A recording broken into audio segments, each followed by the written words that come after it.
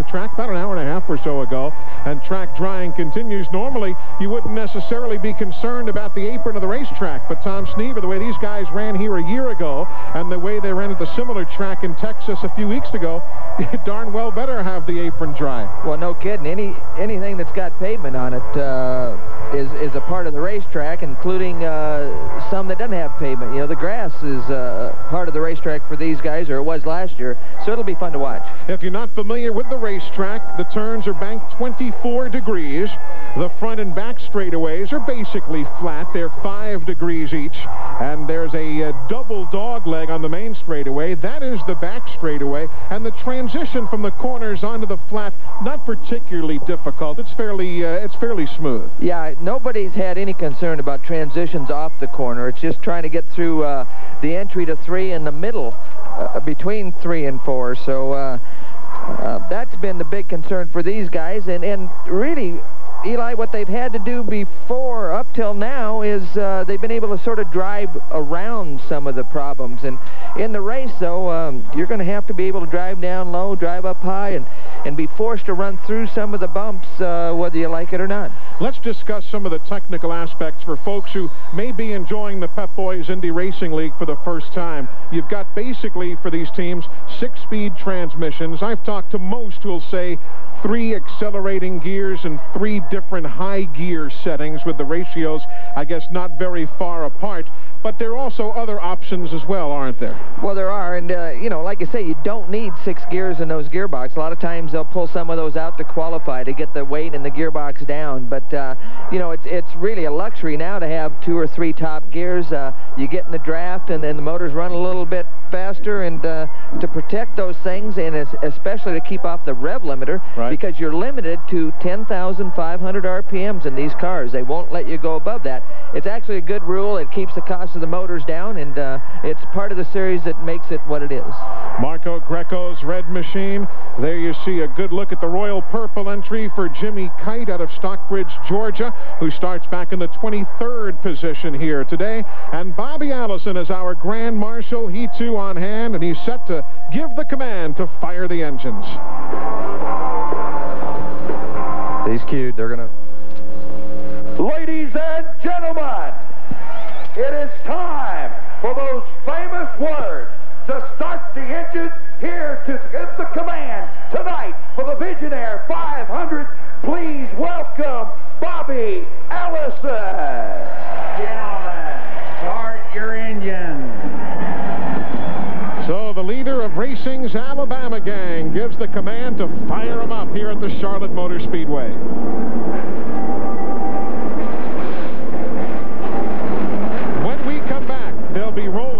set for the start of race number 7 of 11 in the 1998 Pep Boys Indy Racing League season. Back with the start on TNN Motorsports after this. Back with you here at the Charlotte Motor Speedway. Jim Guthrie, as he was pulling away from his spot on the grid, it looked as though he might have tagged the wall while they were going back and forth to start heating up the tires. Looked as though he might have just nudged the wall here at the Charlotte Motor Speedway. We'll keep an eye on that team. They lost an engine here in the final practice last night and had to go with a uh, well, replacement. And you, the, the, nose of the yeah, car. looking there. Yeah, there's the there's front the wing. wing. So uh, he clipped it pretty sure good. He's did. heading for the pit. You could see him passing the other cars trying to get a run into the pits to uh, to see what the problem is. But uh, that's a little unusual at uh, that point in the race. How are you going to get the nose knocked off without... I'm not sure of that angle, how you do that without getting just, the right front or the right rear involved. Well, they say no. I just looked up and I said it looked like he had just nudged the wall. I couldn't quite tell, but obviously clearly didn't. As I was saying, they lost an engine last night. Had to put their Dover power plant back in the car, which wasn't ideal anyway, but uh, it's not been their uh, last 24 hours, that's for sure. As far as the numbers here this evening for this Pep Boys Indy Racing League event, there you see the 24 starters with one of them right now on the pit lane, Guthrie. Tony Stewart went quicker than that in practice, but the official numbers can only be set in the qualifying runs as return here on Thursday evening. Why don't we check out the starting lineup for you? for this 208 lap event here at Charlotte. Tony Stewart, fourth pole in seven races this year, and Greg Ray in for Billy Boat. Third at Texas for Kenny Brack, and Mark Dismore drives for Tom Kelley. Marco Greco had a super run at Dover, came home third. There's the Dover winner, Scott Sharp. Scott Goodyear, as we told you, worked on his car at Dale Earnhardt's shop this week, and Davey Hamilton switching to the Dallara chassis. Raul Boesel from Brazil, he was eighth at Phoenix this year, his best finish of the season. A good rookie from 97, Jeff Ward. Brian Tyler, Tom Sneva, the only guy not to do any last session practicing here yesterday. Yeah, they didn't go out late, uh, but a good qualifying run for that Yeah. team, and, uh, you know, they're getting more laps all the time, and, and that's what it takes to get it towards the front. And of course, Eddie Cheever, the Indy 500 champion. John Paul Jr. is on hand, the former IMSA GT champ. And there's Buddy Lazier, who won the Indy 500 in 96. Arie Luyendyk himself, a two-time Indy 500 champ. And Andy Michner, who was a rookie on the Pep Boys IRL scene here this year. Dr. Jack Miller, 21st place finish at Indy and Dover. Stefan Gregoire. On down the line, Tyce Carlson. He's in for Steve Knapp, who found himself in a jam a weekend ago at Dover. And there are problems right off the bat for Wardy as Jeff came off and again goes spinning through the grass. Well, we got some unusual things happening here on, on, on the pace laps. I'm not sure what Wardy was doing. Uh, he had to probably be just trying to get the tires up to temperature. So, uh, you know, the track obviously is surprising these guys after the rain shower. And there you see Jim Guthrie, Sam Schmidt, Jimmy Kite, and new daddy, Donnie Beechler. His wife giving birth to a baby just yesterday back in Springfield, Illinois, and he returned here this afternoon. Yeah, actually, his older brother was uh, real nervous all week before the baby was born. He wasn't sure if he was going to be an aunt or an uncle. Thank you very much. That is Buddy Lazier, the Hemmelgarn Dallara, starting in the middle of the field 14th. We have those two views for you, front and back. John Paul Jr. starting 13th in the Visionaire G-Force. Scott Goodyear, he'll be giving us a ride from his seventh place starting spot. And Scott Sharp will ride with him from sixth, and green, Green, green, is in the air.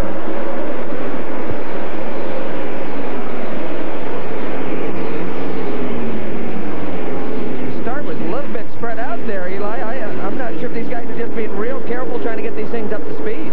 Meanwhile, Sam Schmidt comes down the pit lane here on the start, while others now begin to chase their way down the back straightaway with Scott Sharp. He took a look underneath uh, Kenny Brack, but uh, decided, hey, it's early in this race. Let's not force anything yet. Of course, Tony Stewart, right that time, didn't get the jump he wanted. No, but uh, Zico Colors certainly did, though, for Greg Ray. There you see 7th, 8th, and 9th. Marco Greco in the red machine being bypassed as Hamilton moves up along with Ward. yeah, Ward was on the outside there. The uh, the orange and white car in the middle of that three right there. That yellow machine you saw was Scott Goodyear. There's Jeff Ward. Greco behind him in ninth. Hamilton trying to take that Dallara to the outside of Scott Goodyear. That's uh, a G-force being passed by uh, that Dallara, and Davey's probably got a smile on his face. He'll move up to sixth spot on that exchange as we ride with Scott Goodyear. You saw his left hand just came back on the wheel just as we came into this uh, into the screen, and uh, he's reaching over looking for a fuel mixture. Is what he would be doing on the on the left side of that dash,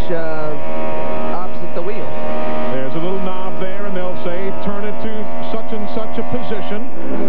Meanwhile, up front, Tony Stewart in that Glidden's yellow and orange machine has caught Greg Ray. This is for the lead. Lap number five. And he's got it. He's got it as he uses the banking to try and woe himself back down just a bit. Well, that's a little bit like a slide job at Winchester or Salem in the sprint cars, but uh, Tony's done a great job at the beginning of these races. He's matured quite a bit. He doesn't care about leading the first lap. Uh, you know, a year or two ago, he wanted to lead every lap, and, uh, you know, he's matured a lot throughout the years and uses his head a lot more now. That purple machine, Buddy Lazier, all the way up to ninth right now. He's third in line in that scramble. And we're riding with Buddy. Now let's see how it might dance around a bit here in three and four. You can see the you can see his hands and, and the wheel sort of vibrating in him. And there you see one machine slowing. Raul Boesel having problems on the straightaway. And caution is on the racetrack. So caution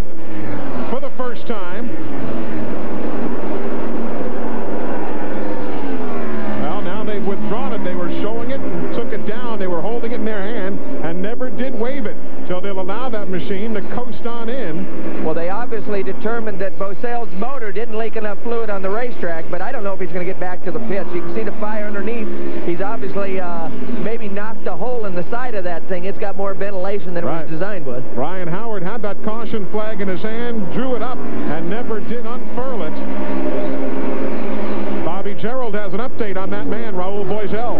Eli, scanner communication initially indicated that it was a blown engine for Raul Boesel. If so, that would be two in a row because they blew an engine at Dover. He is running very slow out on the raceway right now. We anticipate him trying to coast to a stop here in the pits, but we're afraid that the engine is done, and that's going to be all she wrote for Raul Boesel here tonight at Charlotte. And now the caution is out because further checking by the IRL officials shows, as you see there, are all sorts of problems. He won't make it around. There is fluid on the racetrack.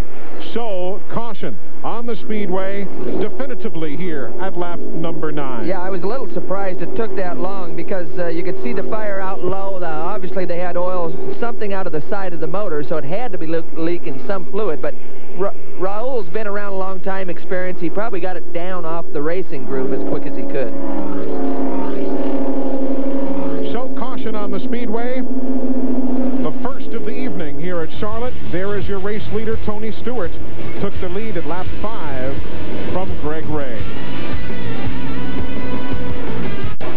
With you here at the Charlotte Motor Speedway. Quick reminder, coming up next weekend here on TNN Motorsports, the powerful pickups of the NASCAR Craftsman Truck Series will be doing some high-speed hauling at the New Hampshire International Speedway. Don't miss the Pennzoil VIP Discount Auto Center 200. That is Sunday, one week from tomorrow, August 2nd, 1 p.m. Eastern, right here on TNN Motorsports. Field having just gotten the one-to-go signal. We told you Sam Schmidt had come down the pit lane for an unscheduled stop early. Vince, what are you hearing? Well, Sam Schmidt did have a problem. They brought him in. They thought there was a small fire on board, possibly just because the exhaust was too hot. They sent him back out on the track for a couple of laps just to see what the car, how the car reacted. Right now, they're not exactly sure. Larry Nash, the team owner, you see is uh, back behind me. Constant communication with Sam, talking about how the car feels, maybe to get some identification as to what went wrong and caused that early pit stop. A lot of bad luck for this team. They hope to turn the fortunes around tonight. Yeah, they blew an engine here on Thursday afternoon. It was a fresh rebuild at the time. Gave no warning. Sam just blew up. Yeah, Vince and Bobby. Also, Jimmy Kite came into the pits under that yellow and uh, and did some adjustments. So you might check that out for us too if we could. We'll update on that as green flag is back in the air. And on lap 14, Tony Stewart quickly up through the gearbox. Well, it looked like Greg Well, Ray Ray had some come up to problems getting up to speed. He got passed by his teammate, and uh, and Buddy Lazier's going to the front, boys. Look at this down Look the back straightaway. wide. You've got Sharp working to the inside. Dismore is there. And Sharp will try and come out with the lead if he can hold it against Tony Stewart. Well, we had both Kelley cars and Tony Stewart running three abreast. From Sharp looking rearward right now. Side by side with Stewart for the lead. And right behind him, that's his teammate, Mark Dismore. Again, Sharp to the inside, Stewart to the outside. For the lead in the Visionaire 500 at 202 miles an hour. Well, Dismore's right there. Again, this is inside Sharp's car. Looking at Tony Stewart, sizing him up. Again, looking back, you've got Dismore on the scene as well. The other Kelley racer right there to the left of your screen. And there's Kenny Brack coming into the picture. Yeah, but I, don't- if you, I don't know if you noticed, Dismore's car wiggled. He was up high, and the thing gave a pretty good wiggle right in the middle of the corner. And Dismore just wiggled right past Sharp, though. wiggled right by him to the outside to grab second spot. Stewart, Dismore, Sharp. Kenny Brack on the inside. Then the green machine is Ray right there swinging by. We were, purple is Buddy Lazier. We were worried about Greg Ray. He didn't come up to speed very well, but he's coming back to these guys.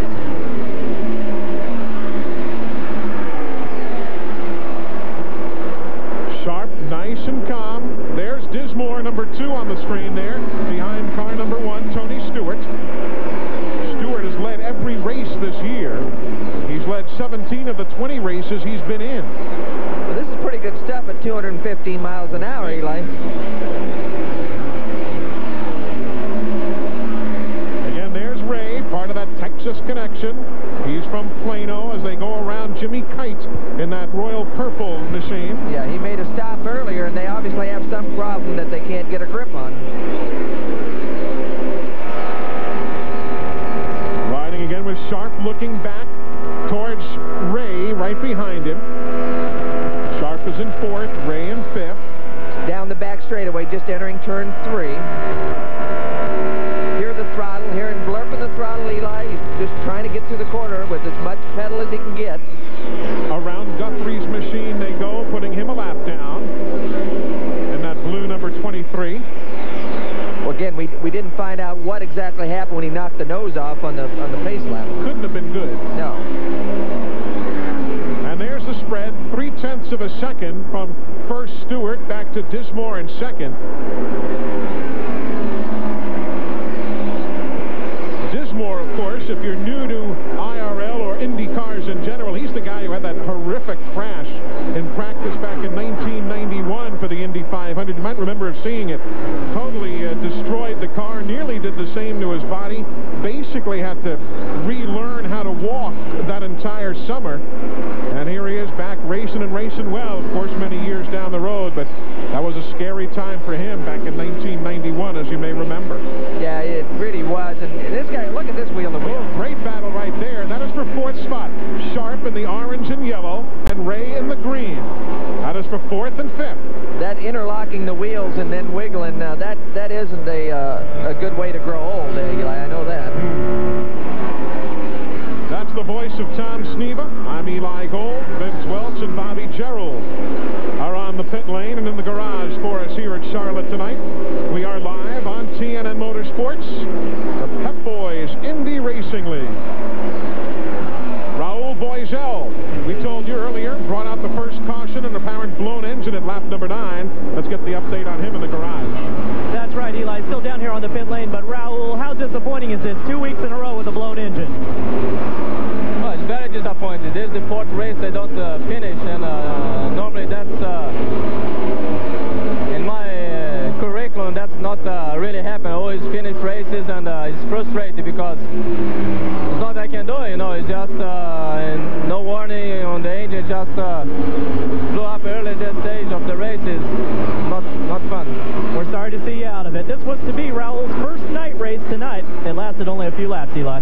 Sure did as the leaders go around that blue machine of Stefan Gregoire. Well, they got to traffic, Eli, and uh, Dismore just blew by Stewart as soon as they caught traffic. I don't know if that's a traffic situation or, or Tony's car's going away a little bit, but Dismore's gone. Matter of fact, the last lap, Dismore at 213 miles an hour, Stewart at 206. So a significant difference. This last lap, Dismore 210, Stewart at 205.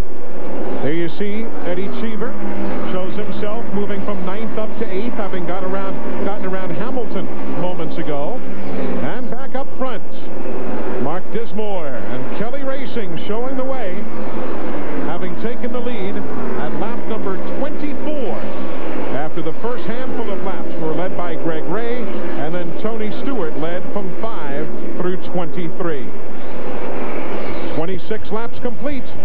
208 make up the distance here at the Charlotte Motor Speedway. Back in a moment. We are back at Charlotte under caution. Remember we told you that Tony Stewart had dropped to 6 and 7 miles an hour off Mark Dismore's pace? Well, while you folks were away for a few moments, the smoke erupted from behind the Glidden Menards. And that's a tough, tough break. It really is. You know, when they run them that hard, uh, stuff happens. But th this team's had some engine trouble throughout the year. It, it hurt them at Indianapolis. Uh, they've been fast everywhere, but uh, reliability sometimes hasn't been their strong point. Let's go down to Vince Welch. With team manager Larry Curry. Larry, I, I know this isn't the way you wanted to see the early stages of this race unfold. You guys have been fast all week. What's the problem here? Yeah, I'm, we're not sure. All of a sudden the thing starts smoking, and we don't know yet what's wrong with it. Everything on the telemetry looked good, so We're given no indication that there was a problem. none. So same old story, it seems like. Disappointing for Tony Stewart and uh, Team Menard. At least at, at this point, it does not look as though Tony Stewart's going to be a factor tonight. Uh, heartbreaker for that bunch as Tony just looks on in disbelief. He won a race here last night, but that's no consolation here this evening. Yeah, and Curry said uh, same old story. Well, they haven't had that many uh, oil lines come loose this year, so I, would say it's a little more deeply seated than we'd like. Lap 31, these pit stops, the fuel window is roughly 45 laps here at Charlotte, but everybody's taking advantage of the stop. Let's go to Bobby Gerould. Buddy Lazier just coming in, getting a cool drink of water, and they're in and out of here very quickly. A nice stop for Ron Hemmelgarn and company. Buddy Lazier, the 96 Indy 500 winner, won here last year. You can see Sharp just barely beat Buddy out of the pit, so uh, the, the Hemmelgarn team had a great pit stop. Everybody just kind of skiing their way through and looked like something wrong there. They were in for a lengthy, lengthy stop. They were. He was one of the first in, but he wasn't uh, one of the first to get out. Right. Ray had come in, actually, the second man in behind Kenny Brack, if uh, notes serve correctly, and he was one of the very last out. So we'll get an update from the Conseco team and see exactly uh, what went on down there with the uh, Texas connection and find out what's cooking right there. It was it, it was interesting looking. Complete. It was interesting looking out of the back of the Greg Ray's car. This car right here, uh, the right side, it looked like it was burning a lot more uh, fuel than the left side, there was a dark blue flame on, Just raw on the right. Fuel there. Exactly, and uh, the left side didn't appear to have that. So we'll get an update there shortly as we were working caution for the second time. Again, brought out with the problems from Tony Stewart. There comes Mark Dismore, who was the race leader at the caution. He's the second race he has led this year. Led 27 laps in the season opener at the Walt Disney World Speedway in Orlando en route to a fifth place finish. Well, but the key here is Eli, he came in a lap later than everybody, so he's going to be at the back of the pack. Now, I don't know if they had uh, some kind of communication problem or whatever, but all the rest of the leaders stopped uh, before he did, so he's going to be at the back of this pack and have a ways and, and uh, some bodies to try to get back around. Schmidt is still on the pit lane for service. Others making stops now of those who are a lap or more down. We are working under caution, lap number 32 of 208 here at the Charlotte Motor Speedway. Let's go back and watch that uh, stop for Greg Ray and the Conseco bunch moments ago and watch the fuel hose there. Let's see if that's where the uh, problem comes. Well, yeah, it looks like the fuel hose won't disengage. That's what it is right there, Tom. Yeah, it doesn't look like they have much room. The, the, the, the hose is pretty tight, so I don't know if he's a little bit farther forward in his pit than they want him to be, but it doesn't look like there's much room for error there.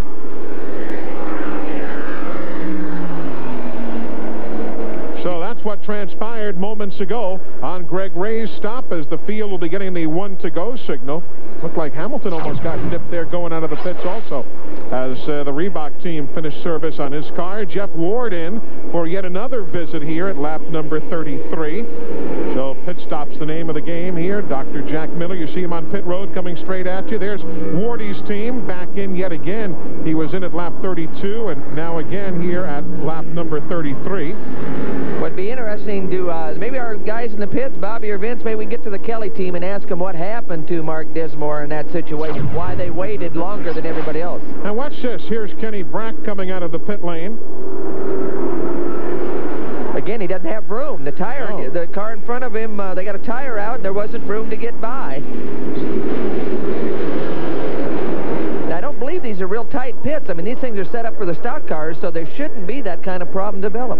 Meanwhile, the big Texan is down there watching his team's work. A.J. Foyt, an update from him. Well, A.J. Foyt's uh, team and Greg Ray had some problems with the fuel hose. I believe A.J. communicating with uh, Greg right now, but they took particular interest in the replay that we showed them on TNN. Uh, A.J., what happened on that stop? Well, actually, uh, we tried a new fuel nozzle deal, and it just got us in trouble, but uh, we'd be all right. He had, was a little bit too far out. There, and like I told the crew, forget that it ever happened because we've got a long ways to go, and it ain't no sense worrying about the first stop. It, that's racing, and uh, I told them just get their heads back together. We'll be all right. Pep talk from A.J. Foyt. His driver, Greg Ray, still in solid position.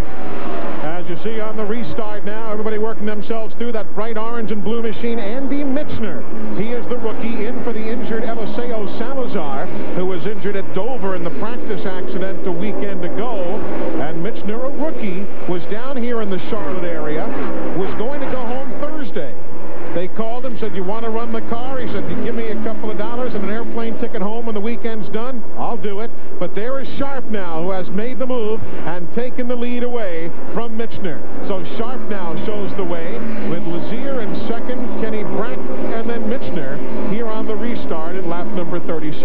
Well, here's the battle for second. Kenny Brack coming back through the troops, right underneath Lazier. So uh, one of the Foyt's team car is, is got in and out of the pits decent, and uh, he's going back to the front. And we're riding with Buddy Lazier right here. You can hear on the radio they're talking about traffic.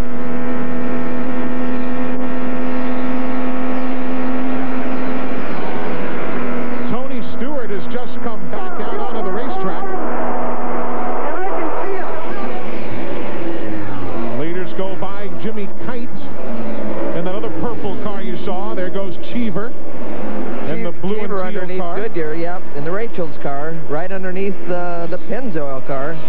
So that's on the fifth, and there you ride with Scott Goodyear now. Well, look at the front. Cheever's looking for a way to get around. Traffic. Eddie's, he looked high, looked low, but there was no place to go. Stefan Gregoire, you see him going by in the uh, two-tone blue machine. And as we mentioned, Tony Stewart is out there running again, making a couple of laps at reduced pace. There's a good fifth place scramble again. Cheever, Goodyear, and Dismore. Well, you can see it's not taking Dismore long to No. get through the pack here. He's all the way up to fifth or sixth at this point. And then again, Kenny Brack up front. He makes the move and grabs the lead from Scott Sharp at 217 miles an hour. Brack five miles an hour quicker than Sharp on that last tour around the mile and a half. And there Dismore makes the move around Goodyear. So move Dismore up to sixth, Goodyear back to seventh.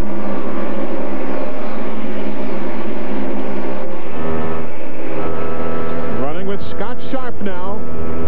You can see there he just shifted gears. He changed the gear position. Again, they've got two or three high gears that they can select from, and uh, he just chose a, a different combination than, uh, than he had before he got past. The winner at Dover Downs International Speedway. You read the numbers, 209. Again, that's a screen on the, uh, it's a digital situation. He can punch up any kind of readings he wants. If he wants temperatures, he can see that. If he wants speeds, he pushes the button and gets, that's what he's on now. So it's, they've got a lot of technology in these cars, and, and, and uh, they can really see a lot of what's happening. And there you see the telemetry. Remember the rev limiter is at 10,000 RPM. And again, you saw different gear, so I'm not sure they've had a stop now. Maybe they don't, maybe they're not happy with their fuel mileage and got to reduce the RPM. There's a great battle with Dismore and that red machine moving around Cheever. That'll be fourth spot changing hands, but they've got the lap car of Guthrie just ahead of them. They'll have to woe it down just a second and get around him. And you see Tony Stewart right there back in the mix. Well, whatever, uh, we thought Stewart's deal was a little, uh, a little more serious than that, but uh, I'm not sure if they added oil because they left a lot out there, but it's, uh, it's back at speed. Now Vincey's six laps down, but at least he's out there. Tony Stewart just brake on his oil pump. He had a fitting brake on his oil pump. Larry Curry said the car should be strong. The problem is, obviously, they lost six laps with that, but it's not a major mishap, just a fitting broke on the oil pump. He should be out until something else happens. That could be, uh, you know, related to the roughness of these racetracks, and I don't know if, if it's the same, uh, same piece they had at Dover last week, but that causes a problem. Look at Lazier. He's down to 195 miles an hour now. So he is some 16, 17 miles an hour off the pace. The Reebok team goes by. That was Michner. Ray goes by as we ride with Lazier. He's down to 192 miles an hour. And being bypassed, he's all the way back to eighth. There goes Goodyear, so he's back to ninth. So something amiss. Yeah, I don't know if he's lost a cylinder or what, because he's using a lot of, all the throttle he's got, it's just not going very fast. Vince, what are you hearing? Down in Ron Hemmelgarn's uh, area, Team La- Lazier. What's the matter, Ron? I, I can't hear you right What's the matter, Ron? We're experiencing some fuel pressure problems starting to drop on us. And Buddy's been communicating on to you the radio that it's been very rough out there. Is that true? Oh, absolutely. There's some bumps out there pretty good. The car's moving around quite a bit, but we'll get a hand. We're going to pit right now and change the tires and check on a few things. So he's coming in right now. Here comes Lazier. See what the team is able to find. But again, with everybody else going 215 miles an hour, even a semi-routine pit stop, Tom Sneva, is devastating. Yeah, it is. I think what they're going to check on is what's on TV later tonight. You saw Lazier putting his hand up saying, don't know what the problem is. Meanwhile, Kenny Brack is in traffic. That is he to the inside in the power team entry. He'll pick his way around Stevie Reeves, rookie, making his IRL debut here tonight. You got to be quick, but you got to show some patience also. Well, especially in traffic. Uh, but it's nice when you're running up front, when you have a car that you know can go, it's a lot easier from a driver's standpoint because he can pick and choose his spots. The guys that run second, third, fourth, and fifth, they've got to press the issue. They've got to try to close the gap. But when you've got a good race car and you know you got a good race car, you can be a lot more conservative in traffic. Jeff Ward in that orange and white machine. He's running in ninth. Stefan Gregoire is that blue car. He is two laps down in 16th position. Then you come to the red car of Greco and then Paul as they work themselves through race traffic here on lap number 50. Again, that's Jeff Ward, that orange and white car. The blue car, Stefan Gregoire, and John Paul Jr. right in the middle of this bit. If you're an Andy Michner fan, they are in for a pit stop here at lap number 50, an unscheduled stop for that Reebok car. Yeah, we might want to check what that's all about because they were just in a few laps ago, so I don't know if he felt he had a tire going down or what.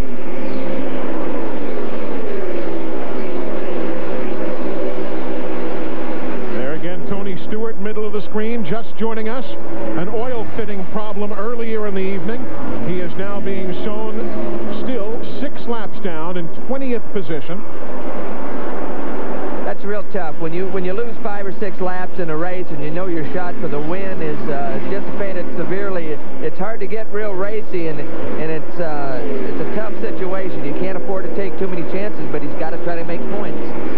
You're curious about Mark Dismore, who led earlier, he now finds himself better than six seconds off the pace being set by that white power team entry. There is Dismore working himself through traffic now in the Kelley machine. Let's get an update from uh, their pit area.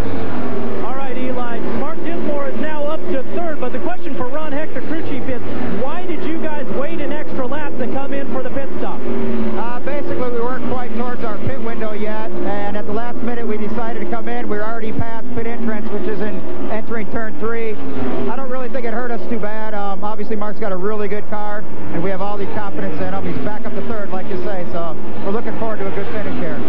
Mark is charging, and that should answer your question, Tom Sneva. There was some speculation in both Dismore and Sharp's pit before the race that they would try to make this a three-stop race. Uh, you know, things happen in a hurry. They got to make split-second decisions out there. To fuel, and, and like I say, they were trying to hope and stretch it, get to their fuel window, but when they saw all the other leaders pit, uh, it sort of dictated what they were going to have to do. And the leader is Kenny Brack in that power team entry. Earlier this year, he led a lap at Walt Disney World, led 23 laps at the Indianapolis Motor Speedway, but hasn't finished better than third. He did that at Texas, here on TNN, back in June. The Delphi Automotive entry and the Kelley machine battle basically nose to tail. Working for second spot. They are already good seven seconds, though, behind Kenny Brack as we look from Sharp back towards Mark Dismore. Yeah, this has got to be a tough situation from an owner. Actually, Dismore ran up in the back of uh, Sharp. He's actually a little bit quicker, but now they're traffic, and the air off of Sharp's car is holding uh, Dismore up right now. So it's sort of a catch-22. Brack is about three or four seconds out. Uh, this teammate might be holding up the other one a little bit, and that gets real frustrating. We're at lap 63 of 208. Two cautions if you're just joining us. Raul Boesel lost an engine at lap number 9, and then Tony Stewart with the oil pump fitting problem at lap 29. Watch the spread here. That's Brack right there, the race leader. And you'll pull all the way back towards that second and third place battle that we were talking about a while ago. It is some seven seconds in arrears, and you'll see what that looks like at some 214 miles an hour. Still waiting and still waiting, and there they come right now, just behind Stefan Gregoire and that blue machine and the rest of that traffic. So there you see what seven and a half seconds looks like from first place back to second and third. And in his uh, Dover car, by the way, Tom. They had a bunch of bolts and stuff that were uh, pushed out by the vibration and what have you, but they tore it all the way down and, made some body part replacements and so on. Right. Well, actually, Brack ran real good at Dover. He had a problem early. They had a fuel injector problem, and so they had to stop early. They got down a bunch of laps, and I know Kenny was real frustrated because he thought he had a, a race car that was quicker, quicker than anybody all day at Dover. But again, he got down early and really couldn't force the issue. There you see second and third place, still seven and one-tenth seconds behind the race leader. They go around Jim Guthrie's machine as Bobby Gerould has been updating us from the Sharp pit area. Bobby? Eli Scott Sharp just radioed to his crew a few moments ago and told his engineer, David Chris, that he was suffering from a little bit of a push situation out on the racetrack. So uh, my question would be for Tom Sneva. Tom, as the, the night starts to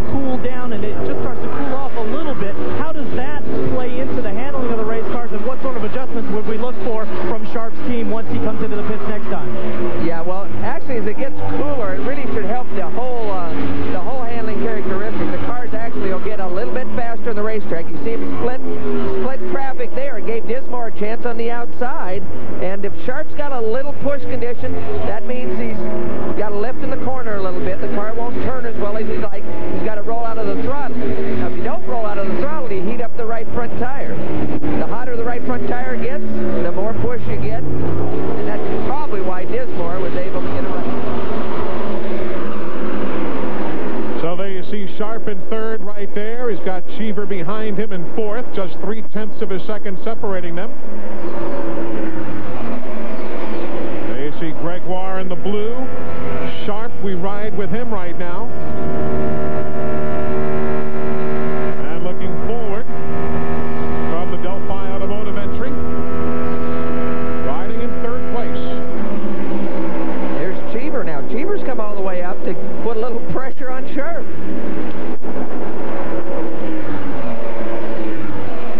Eddie told us earlier today during the rain delay that this is not a place for the faint of heart. He said, I'm starting 12th. I'm going to the front quickly if I can.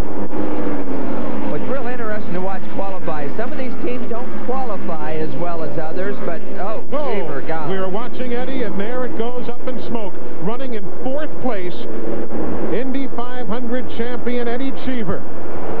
Well, again, they always run best just before they let go, and uh, that's got to be disappointing for the Rachel's team. And caution on the speedway at lap number 71. Eddie Cheever.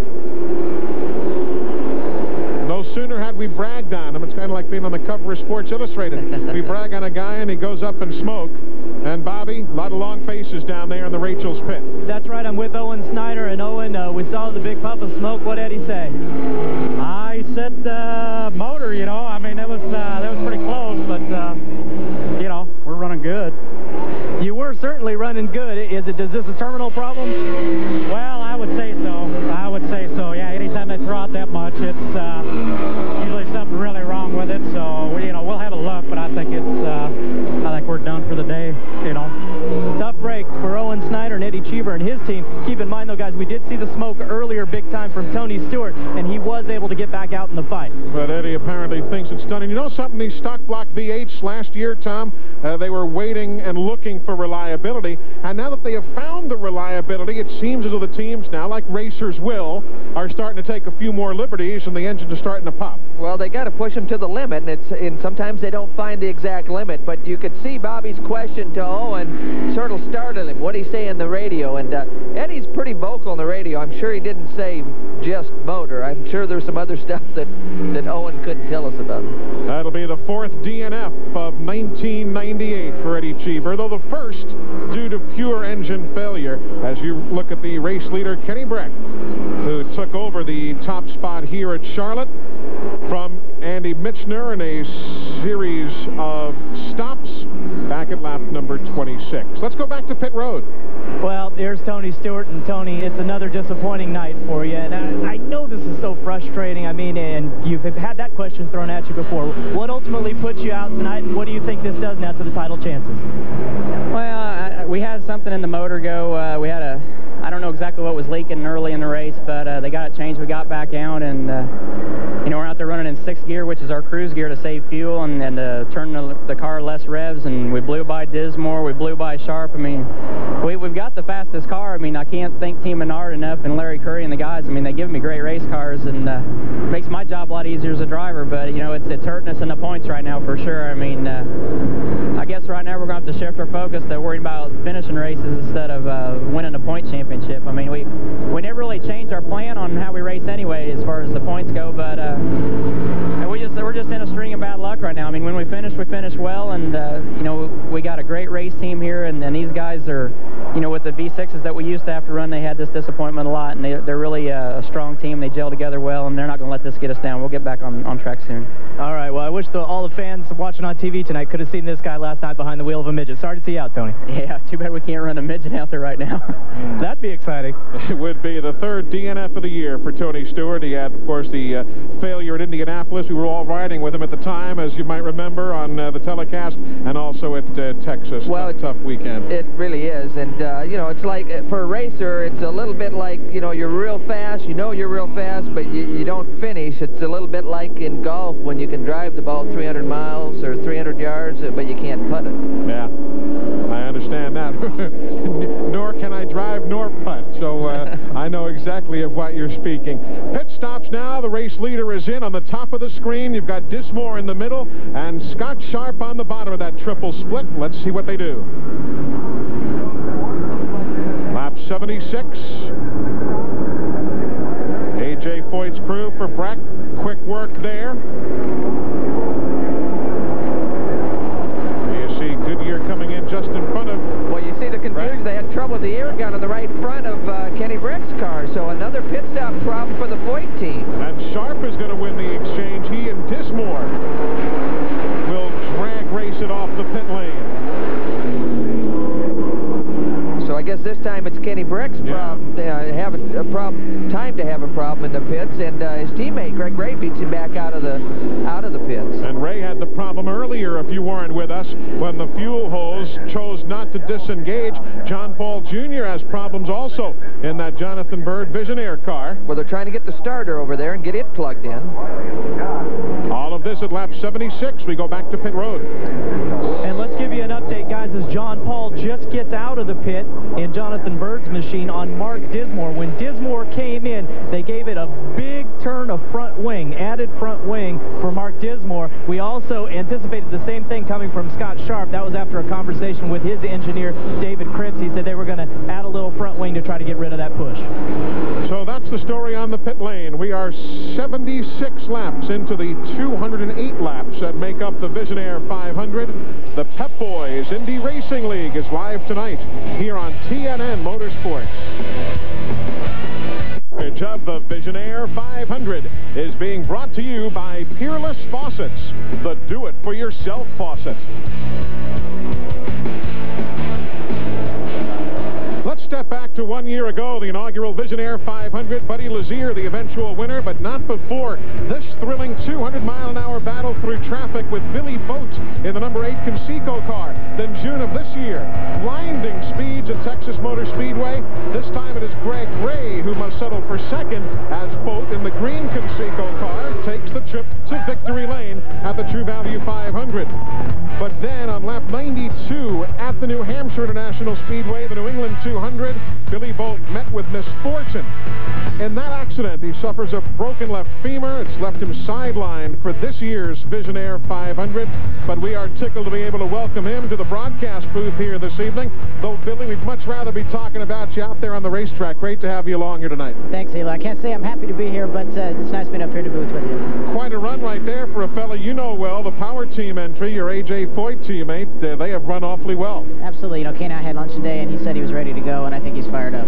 But Vince, they had a problem on the pit stop moments ago, and they're back in sixth. What's the deal? Well, you see the air gun right here. They had an air gun failure on the right front, and it cost them a lengthy stop. Otherwise, they were just going to add a little uh, wing in the front. Otherwise, the run has been terrific. Tommy LeMans told uh, Kenny Brack, don't worry about it. We've got a long way to go. Be patient. We'll get back to the front. And the green obviously displayed here at lap number 80, complete on the board of 208. Scott Sharp is the race leader. Jeff Ward is second. Mark Dismore is third. That yellow car for Goodyear is fourth.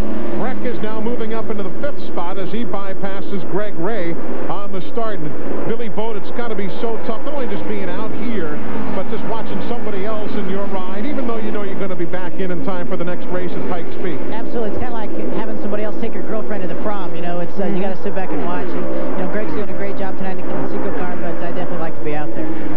Look at this, four wide here at Charlotte. Well, it's not taking Kenny long to make up for the pit stop problem. I mean, he's just running right around the bottom of the racetrack, Eli, and going to the front.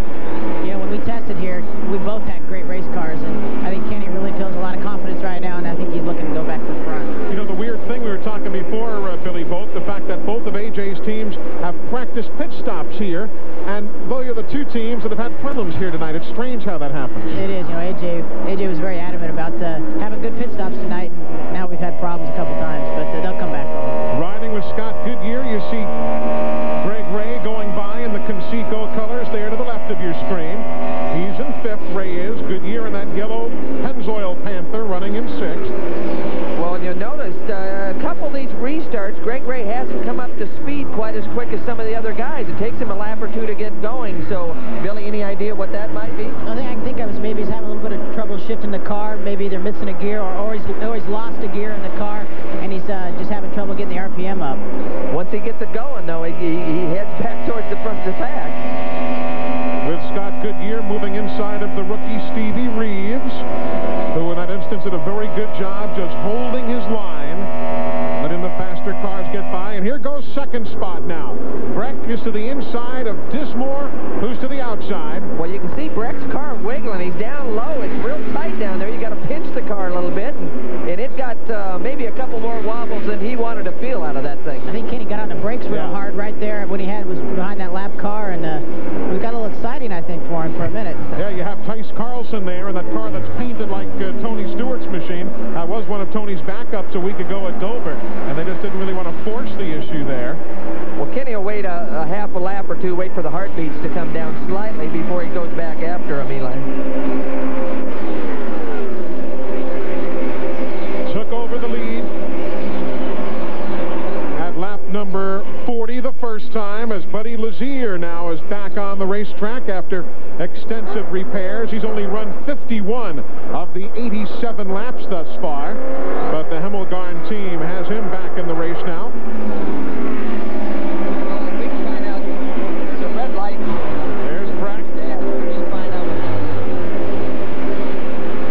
Right now, three and a half seconds off the race leader, Scott Sharp.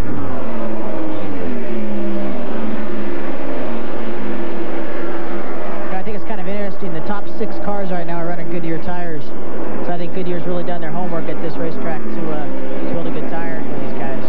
Well, Goodyear has actually been a little more consistent towards the top. I mean, the Firestone's been quick uh, with Stewart qualifying on the pole, but the rest of the cars all up front were on Goodyear's. Eighth and ninth on your screen there, you saw Marco Greco and Brian Tyler just nearly tangle moments ago. Well, they run into those corners uh, two, two abreast, Eli, and, you know, they don't have to wiggle too much. These guys don't have fenders they can lean on each other like the uh, the Cup cars, so um, I don't know if they close their right eye so they don't see each other or what they're doing. Making their way through race traffic. Again, going inside of Stevie Reeves. Dr. Jack Miller at the tail end of that line. In the only Nissan Infiniti still running, Jimmy Kite had one, but he parked it back on lap number 29.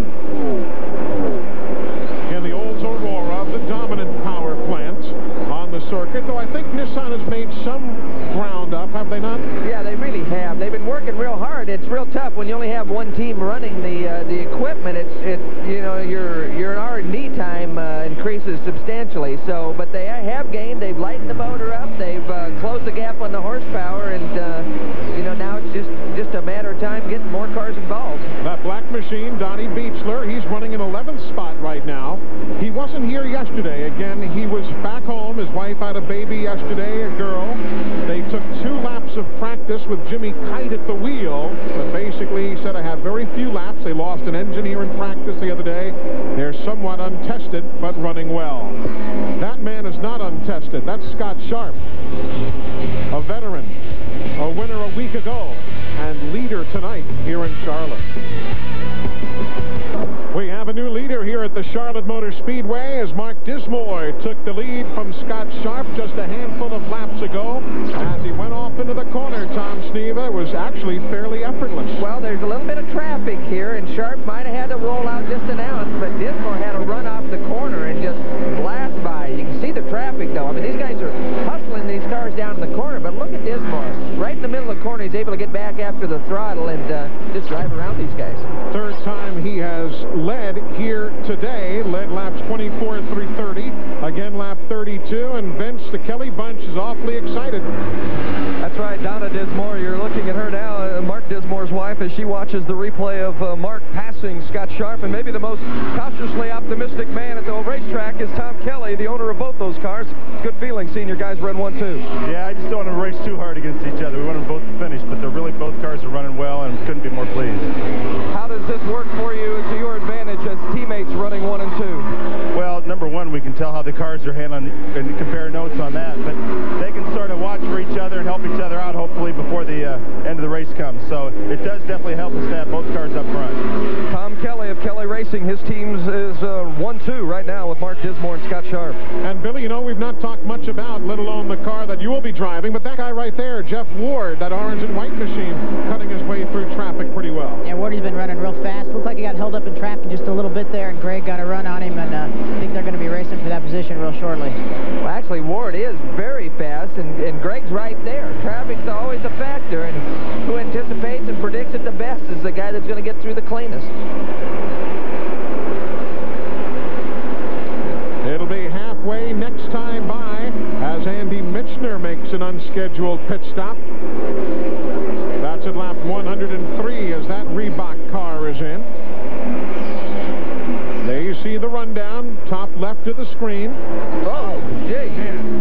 That could have been, that could have been big time That- right there. That's right down the straightaway. You get flipping there, and uh, you're not going to stop till uh, maybe February. I bet Dismore's heart's beating right now. What do you think? I would think, definitely, as we see a great second place battle shaping up there as Brack and that white machine inside Whoa. Sharp got him for second spot. Well, I think it surprised Sharp a little bit. You saw him wiggle to the outside. That you, that usually indicates that uh, he was real surprised by that move. Look how smooth Sharp is on the wheel there as we see the leader Dismore go around John Paul Jr. When we got that look at Sharp there seconds ago, very much like a week Whoa, ago. trouble. There's Sharp. Sharp. Sharp in problems. Looks like Donnie Beach Donnie? involved too. Yeah, be caught Beechler. Beechler just got nicked uh, as a result of that. Caution on the speedway, lap 105. That's Beechler there. Can see the right rear tire where he got hit. It's knocked the tire off the rim. So Scott Sharp right there. And Donnie Beechler. Tangle coming off turn number four. Well, Scott's getting out of the car. That's always a good sign, but uh, you can see the right rear uh, removed from the vehicle. Came to rest pretty close to where the vehicle stopped. Yeah, that's right there coming off of turn four, and uh, it's definitely very bumpy there. Any little altercation, uh, real easy to get in the fence. It's also a spot on the racetrack where habitually, even if your car's handling well, it tends to push. Right. The, the track tends to push on you. We'll take a look at it again. From up high, you'll see what happened in the corner. Sharp is behind Brack. You can see Oh, the thing just just breaks gets loose. loose. He just got loose. That's what happened. Donnie was a victim in that one. Yeah. Donnie's just trying to get by. Look at this. But Right Sharp, there. he comes off the wall pretty fast, and uh, Beach just didn't have enough room to get by. But he ran up. Sharp was actually running up on the back of Kenny Brack, and I don't know if he had to roll out of the throttle a little bit or whatever, but the back end just jumped sideways. Let's watch this with Right Sharp. there over that bump, I bet. Oh, you can see he was down on the apron there. That caused him one wiggle. Right there. Or that caused Brack to wiggle. Not too big a hit for Scott. No, that was like, a, that could have been a lot worse than it was. Right. But I don't know if you noticed, uh, right in front of uh, Sharp at that time, Kenny Brack actually got down on the apron, and it caused his car to wiggle. Now, I don't know if that caused Sharp to have to jump out of the throttle or not. If he jumped right out of the throttle right over that bump, it, it may have It'll knock it helped get him a little bit sure. loose. So caution on the speedway for the fourth time this evening. It comes out at lap 106. We're just past halfway in the Visionaire 500. Believe what's going on in what should be the relative calm of a pit stop. Greg Ray has no reverse, has a spin in the Conseco car on pit road. His teammate Kenny Brack moments ago again had problems with tires on the pit lane trying to exit his pit stall. It's The remarkable. the motor's still running, though. Greg was able to keep the motor running. He just couldn't turn the car sharp enough. So he, he's going to get back out in front of the pace car, so he's not going to lose a lap, so it's just going to hurt him a little bit in the running order. That's the voice of Billy Boat, who takes back over in that number 11 car in Pikes Peak, the next event on the Pep Boys IRL schedule. These pit stops at lap 108, relatively routine, one would expect. But that was anything but the case. And again, for the AJ Foyt teams, watch this. First, you'll see the 14 car, middle of the screen. the white car, Right there. he can't get out again. Can't get out behind the Scott. And there's Goodyear. Ray in the green car. He just tries to accelerate Just gas. and gasses it and spins the thing out. But he kept the motor running, which was real key in him not losing the lap. Absolutely. But he can't turn it sharp enough to get by these tire barriers right there. Vince has AJ bitten the, has he bitten the head off of something yet? No, AJ's, uh, in fact, uh, has been smiling. AJ, if you guys could stay away from this pit trouble, you'd be in command. Well, that's quite true. I don't know what the hell's wrong with the crew. I chewed their ass out. I worked them today till they damn near fell down, and all we're doing is making one mistake after another. This is crazy. I'm going to have a meeting in just a few minutes. Thank you. AJ obviously feels like he's got the fastest team on the track, but it's the team in the pits that's causing him problems at this point. Just remarkable. And again, if you're just joining us, here's why we're under caution for an incident that happened on lap 105. The look on that face says, I know AJ's coming after me. But you, you see Kenny Brack, he gets down in the apron in the white car and it wiggles severely. Now, I don't know if that affected Sharp. Scotty might have, here it is again. See Kenny get down on the apron. Oh, it We before missed Kenny on that one, but Brack gets down on the apron. It caused him to slide up high. Now, Sharp might have been trying to turn the car down low to go under Brack, and uh, that coupled with the with the roughness of the racetrack, you can see, see it. yeah, it's just real tough. Tough to tell Sharp you, just, buddy. the back end just jumps out. There you see the Kelley car, Mark Dismore, as he was on pit road. That was the first spin of the year for one of the Kelley cars when Scott Sharp went uh, spinning before. What it also means is we're going to have another first-time winner for this year because Billy Boat's not in the race. And Tony Stewart, Eddie Cheever, and Scott Sharp, the previous race winners in 98, are already gone to the garage area. Someone will be visiting Victory Lane for the first time in 1998 when this Pep Boys IRL race winds down. Jeff Ward is the race leader. We'll talk more about him when we come back. Triathlons as a hobby. I watch triathlons on occasion. I didn't realize he hit the wall that many times. Eli Gold, Tom Sneva, Billy Boat, Bobby Gerould, and Mr. Vince Welch, who will update us on why Mark Dismore keeps pitting out of sequence. Vince, what's the deal? Uh, the word is, I just spoke with their pit, they want to run under the yellow as long as possible, burn as much fuel under the yellow before they bring him in, and then refuel him again. But they say the car is terrific. They made no adjustments. Mark Dismore says it's a very smooth run. They're back in fifth after that stop, but they're confident they can move to the front before it's over.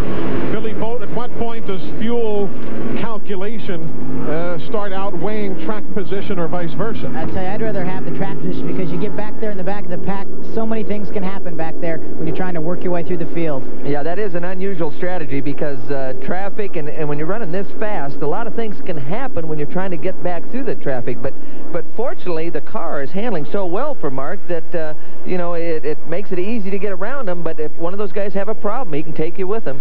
We're a half lap away from going green. Let's get an update on Scott Sharp. He's just down in the garage area. That's right. He's been given a clean bill of health by Dr. Henry Bock. Scotty, what happened? I don't know. You know, we were just fighting the car a bit through. It seemed like it was sliding around a lot all day, and uh, we tried to tighten it up, tried to tighten it up, and it ran really good off that last restart, and then just started to go away a little bit.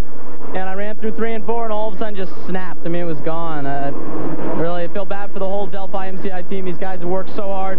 Could have really picked up a full bag full of points on Tony today, but that's not meant to happen. What do you think about the chances your teammate Mark Dismore, who's been doing such a fine job? I think Mark's driving the wheels off that car. It's a really fast car today, and I, I think odds on he should win this race. Greg Race. Greg Race, slow down there, Eli. I'm not sure what's happening there, but again on the restart. Kenny Brack in the white car underneath. Brack is right there to the inside, trying to work around. John Paul on the outside. Right, works around that race traffic. The yellow machine, Scott Goodyear, closes right in. Closed right in on the grass is what he looked like he closed in on.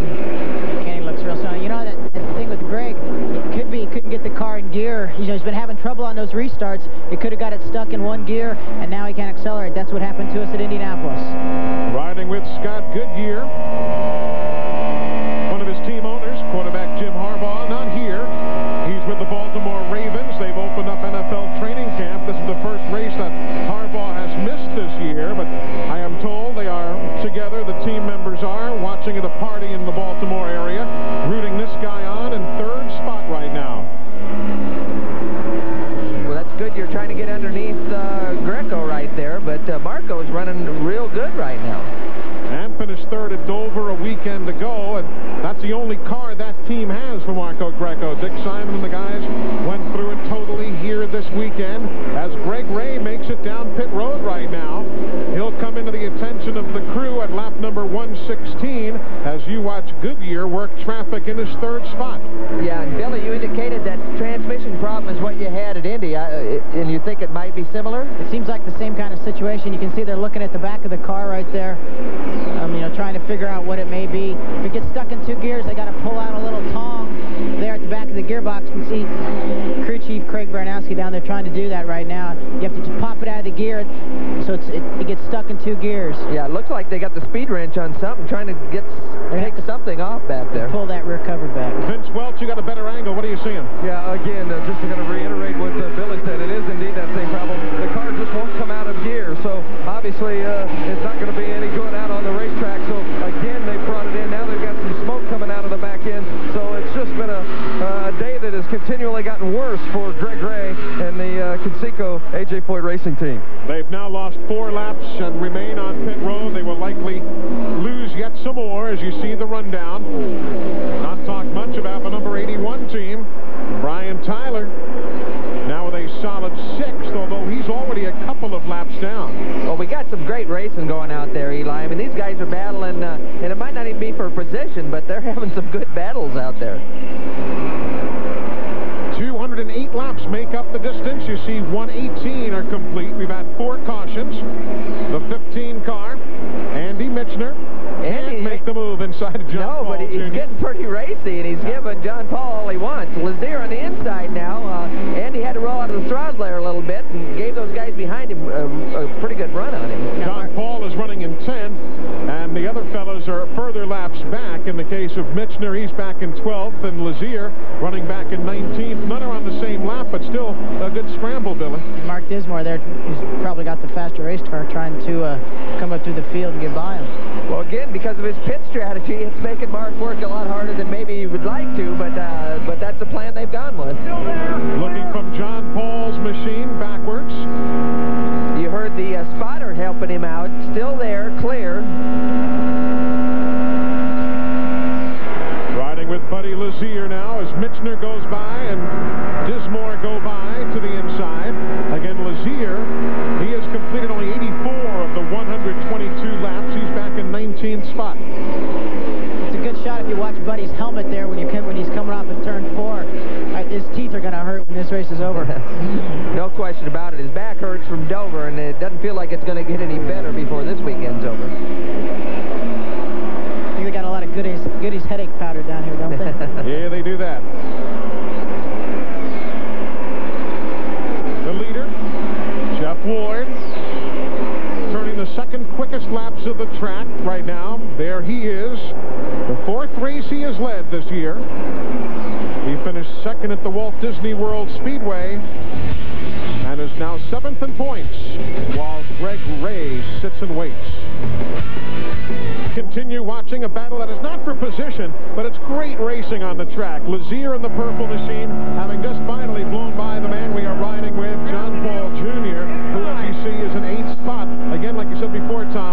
not for position, but these guys are going at him hammer and tong. They got a yellow, yellow. You can see the lights on the on the in-car right above the steering wheel inside John Paul's car. They're blinking on. That indicates to the driver there's a yellow on the on the racetrack. Tyce Carlson right there, in turn number two comes to a stop.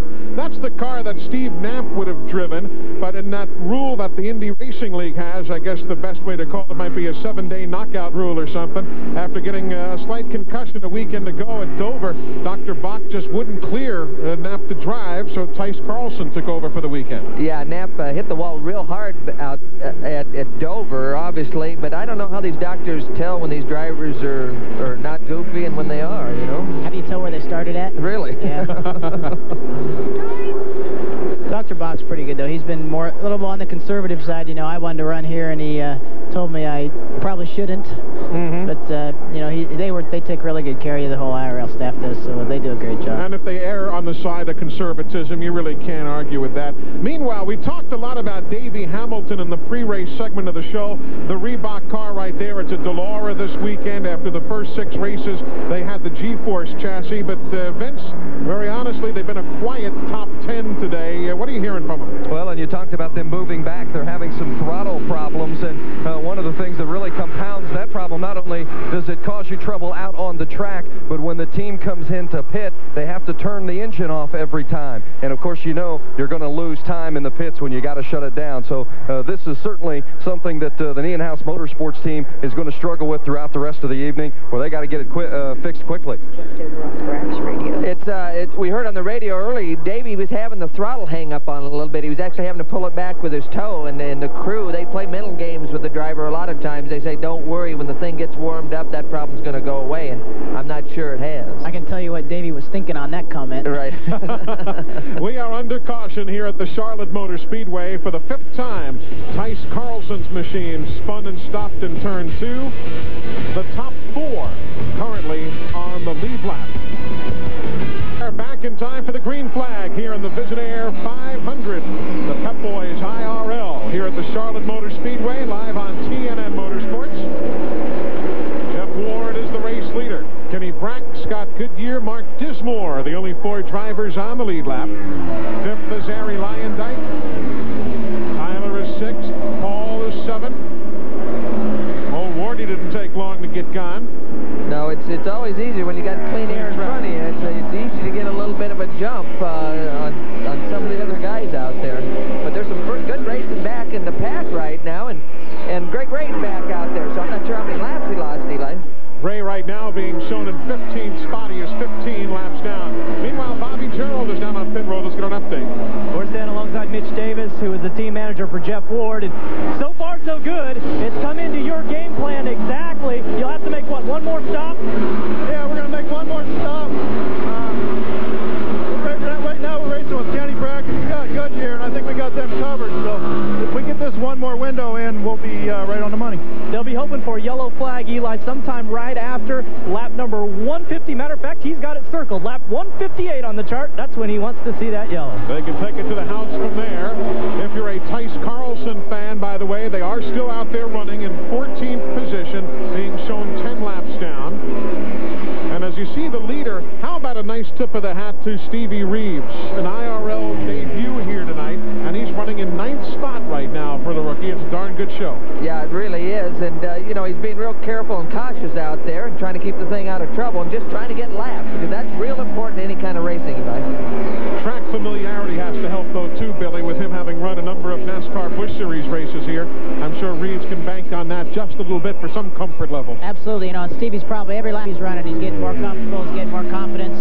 He's going to be a force in this league before it's all done. In the Who's Hot department, we talked of Reeves. Arie Luyendyk is in fifth. He is a lap down, though. And there's the man who's showing the way, Jeff Ward. Well, who's hot right now is Kenny, Kenny Brack because he's Yeah. closed the gap on Ward. Now, whether he's got enough to get by, this is going to be fun to watch. I think Mitch might have been a little optimistic that he had Kenny covered there. What do you think? Well, you saw his eyes darting around. He wasn't, uh, you know, he can say one thing, but uh, what you really feel might be something else. We're within shouting distance of another pit stop, though, Tom Sneva, certainly. Uh, what in the world does Brack think about, uh, not, let alone Greg Ray, who right now is in 15, but what does Brack think about? They've had problems of some sort on virtually every stop. Uh, as we watch third and fourth place, Goodyear and Dismore, are they, are they basically dreading their upcoming pit stop, or what? Well, hopefully they've straightened it out, but what might have happened is it looked like where they marked their pit, Brack was actually forward in the pit box, and it looks like Goodyear probably set his pits up uh, the mark so it's back in the pit box. So helped the Foyt team out because uh, Greg Ray's right behind him, so the, the teammates gave each other room, but what it caused is Brack to move forward. Goodyear, the car in front of him in the pits, uh, moved back, and, and it makes a real tight pit box and exit strategy for Kenny Brack. Now we got A.J. Foyt over in uh, Kenny Brack's pit, so there might be a little bit of manipulating going on over there. Uh, A.J. getting things straightened out for this next pit stop. Well, it'd be real interesting, uh, if we could get you to communicate with Foyt and maybe have him move uh, Kenny back in his pit box to help him out in the next stop. Yeah, he definitely doesn't need that kind of problem again.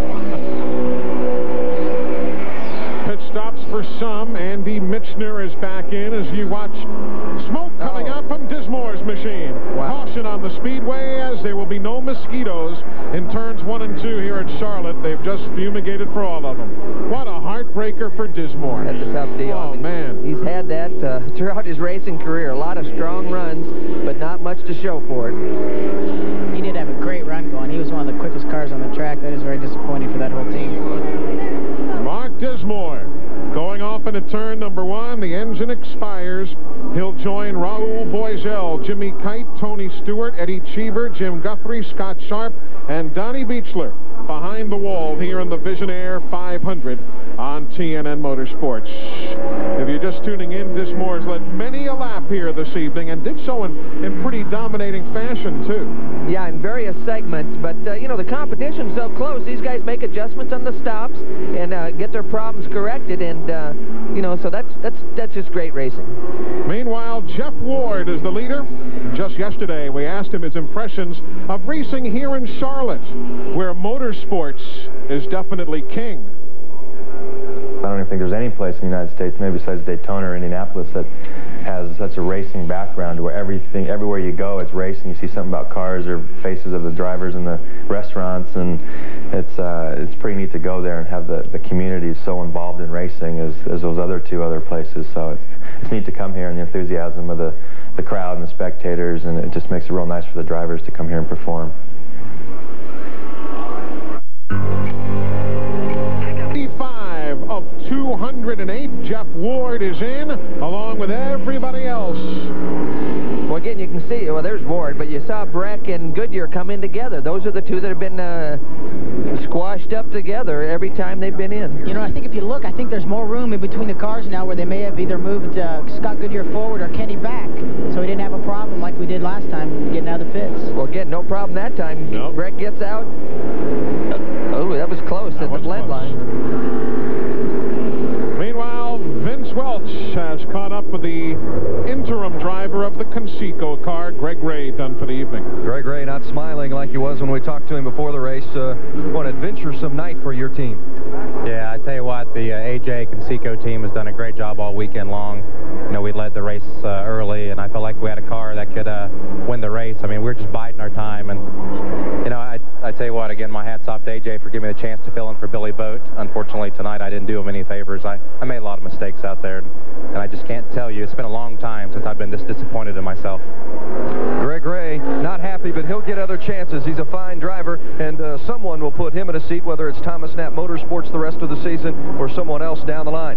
Kenny Brack, I talked to team manager Tommy LeMans about whether or not they can go the distance on the fuel. He checked the board at lap 145, and he said, it's so close, we can't call it right now. Maybe we can make it, maybe we can't. It'll be right down to the wire. Meanwhile, there's Mark Dismore's car. It's been towed back to the pit lane. Second straight engine failure for that team. Last week, they lost an engine at lap 43 at Dover, and their evening apparently done here after leading many, many times around. That is the race leader. Scott Goodyear has the Pennzoil Panther team in front. Where does Napa keep over 200,000 different parts? Right up here. Now remember, your belt tension on this is critical. What kind of car is it? Well, I'll sell you all the struts you want, but I wouldn't recommend putting them in without the right tools. I'm sure we have it. Okay, is it a 77 or a 78? Because they changed the carburetor in 78. Actually, that's not a stupid question at all. I know what it used to be. You don't stay at Napa long handing out the wrong answers, and I'm not planning on going anywhere. America Everyone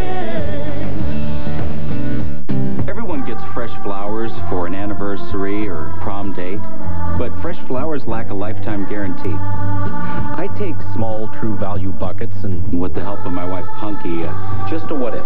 Put various master mechanic tools in them to form an elegant and useful floral motif my handier customers really appreciate. It's beautiful.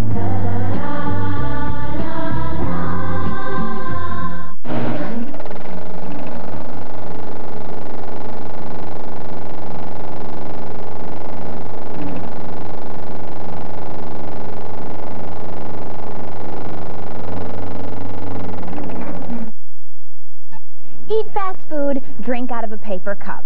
Eat at Dog and Suds. Drink our world's creamiest root beer out of one of these. Unless you're riding in one of these, and then you could drink it out of one of these.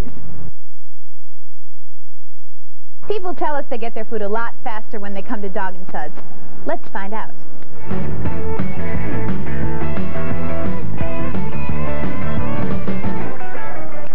Hey, it's a new track record. Move it on. This summer we've got the hot movie. I know that, so let's go! With the coolest stars. Score! From around the world. 24 hours a day, 7 days a week. How do I get it? Call your program provider now and demand it. Cause this summer will be hot. Showing off is how you get to be a star up there, brother. And the coolest place to be is BET Movie Stars 3.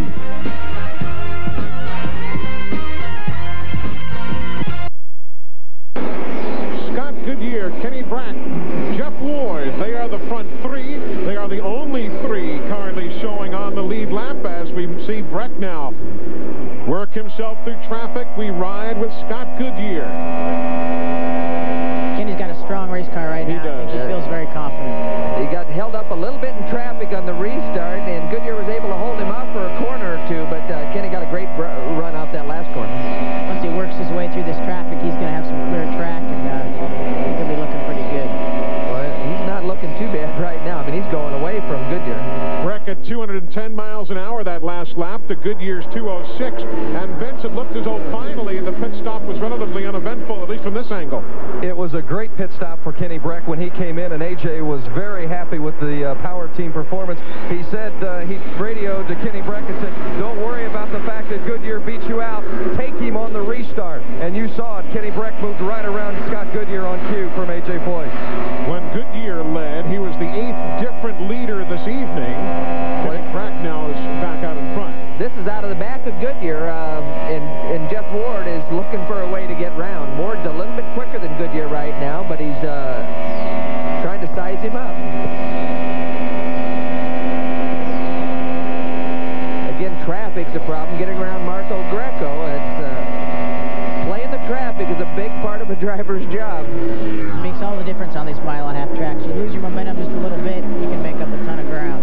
And it's amazing, only 15 cars cars are running, but still traffic, particularly on the restarts, very much a problem. Well, again, they're running 210, 215 miles an hour. They're, they're covering a lot of real estate in a short amount of time, and if they have to blip the throttle, it can really kill momentum. Around inside of John Paul Jr. Meanwhile, Mark Dismore, having retired the Kelley entry moments ago when the engine failure took him out. Let's hear from him down in the garage.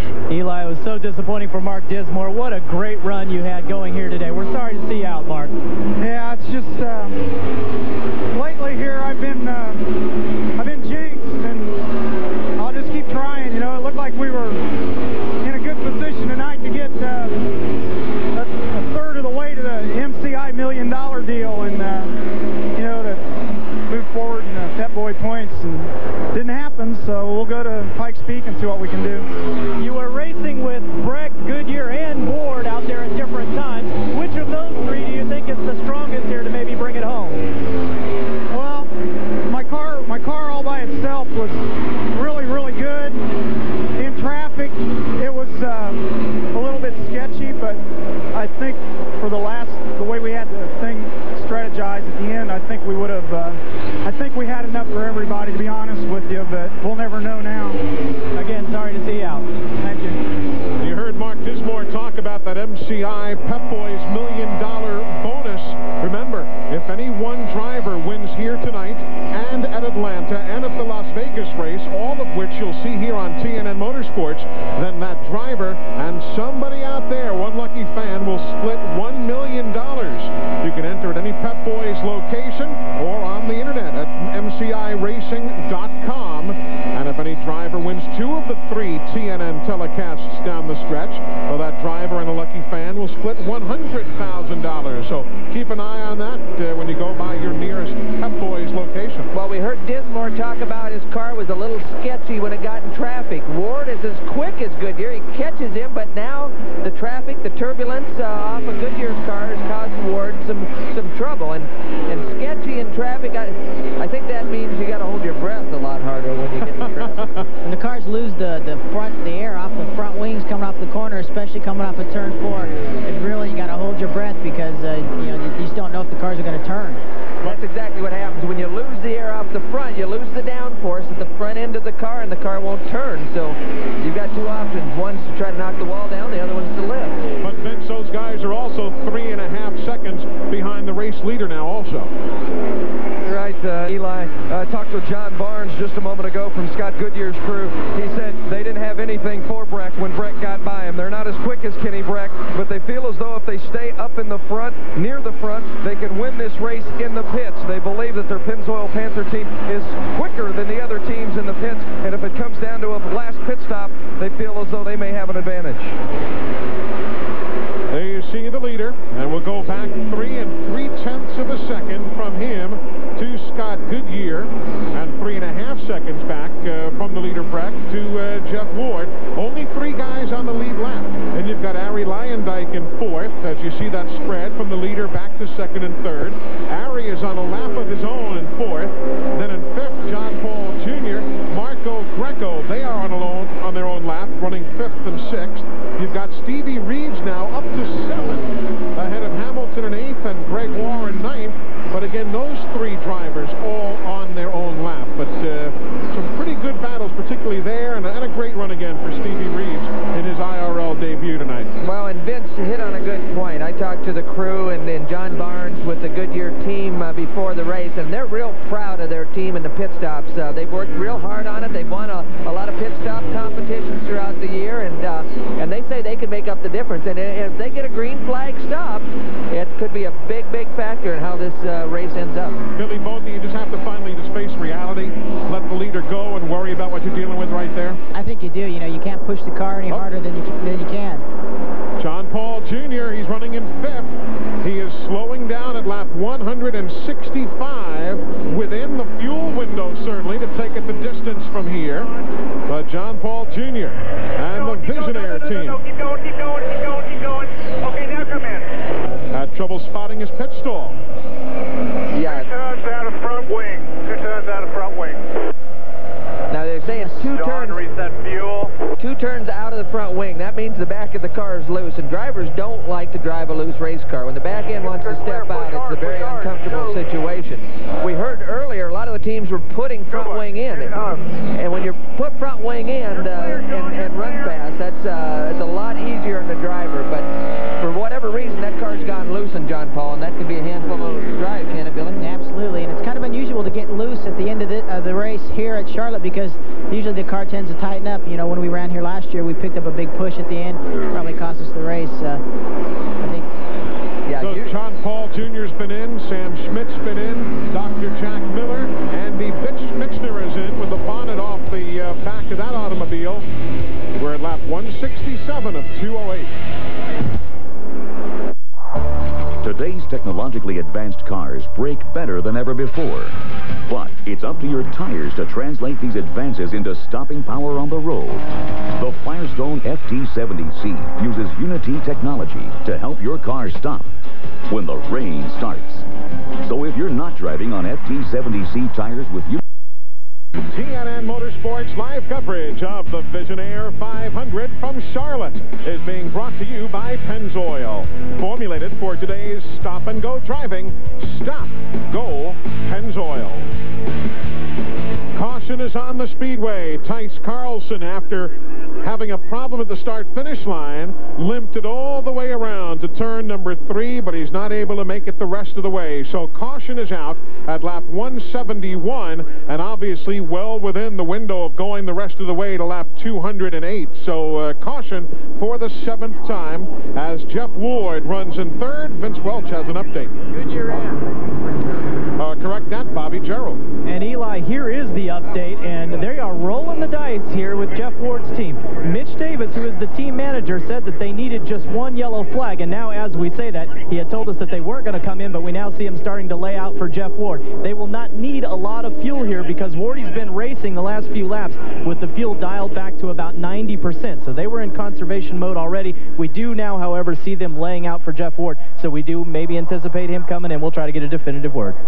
Well, we'll keep an eye on that. Lap 172 of 208 here at Charlotte. Everybody waiting and watching. Kenny Brackett the leader. Scott Goodyear second. That man Ward is third. The only three drivers on the lead lap. Arie Luyendyk is running fourth a lap down. Marco Greco is fifth. He is another lap down. We'll keep a close eye on all three of these teams as they make their stop. I don't think Kenny's going to stop. Okay, John, He didn't come in. Didn't Nope. come in. I think they can make it on fuel, but it's be interesting. So no stop for Brack, but Goodyear and Ward are in, along with Lazier and Hamilton and Greco and Arie Luyendyk. No tires.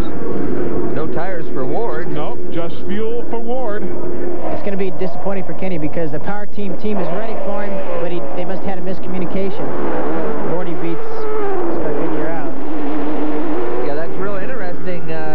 Didn't come in. Uh, again, I don't understand the theory, but uh, maybe they can they go the way- rest of the way, Billy? I, you know, I don't, I don't know. It looks like they're ready for him to come in, but he didn't. You know, I don't know if they just had some kind of miscommunication or he didn't get the message. Maybe his radio's malfunctioning or something. It'll be one lap to go when they get back to the stripe till they get green. Now, all the leaders came in at lap 146, Well, you'll remember. and Now Brack is getting ready to make the stop, Right. apparently. Yeah, he's tucked down in the apron. This this could be very costly. It'll be very costly for him. Of course, dealing with only one of three cars on the lead lap. That's something to remember. Now, there's not a, he's not going to have a lot of traffic to try to catch uh, Scott Goodyear and Jeff Ward, but you know, here at the end of the race, even a little bit is a lot. Well, and traffic upsets the handling, and it slows the guy down. So if the if the leaders can get away far enough, they could cause him some stress. Vince, he's in. Yeah, Billy Boat hit it right on the head. It was a lack of communication. AJ had told Kenny to come in, and he did not. They were planning on the stop, and now uh, Brack has got fuel. They changed some tires, and they still up on the jack. So now we'll see if uh, Kenny Brack can make up that ground.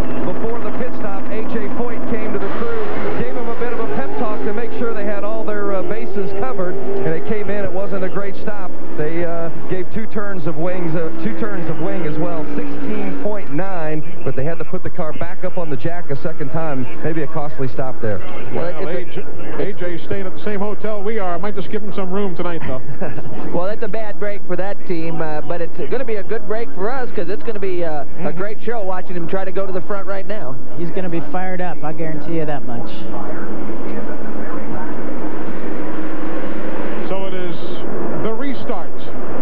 Lap 175. Jeff Ward, the third car back there, the orange and white car, trying to get get his way through the traffic. Goodyear's right behind him, first and second. Goodyear's that yellow machine. Ward gets around John Paul Jr., who is running in sixth, and there's Goodyear running by his lonesome. Well, Ward's going to have some clean air now, and he, I think he was a little bit quicker than Scotty last time, but didn't have enough to get around. But now he's out in front in the clean air. Goodyear gets around John Paul Jr.